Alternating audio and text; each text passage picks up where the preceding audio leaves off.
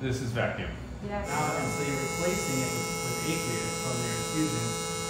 See, that's what I mean. You can pour it, you can shave the base. So now we're on, on, on which, which one? Flow or vacuum? Right now we're on the vacuum, but I can Okay. switch to flow at Oh, any sorry, time. Sorry. Yeah, now the red. Look at that. Yeah, so it's, it's, it's all your details. So that was the hard part of getting the, Yeah. the visualization of the retina.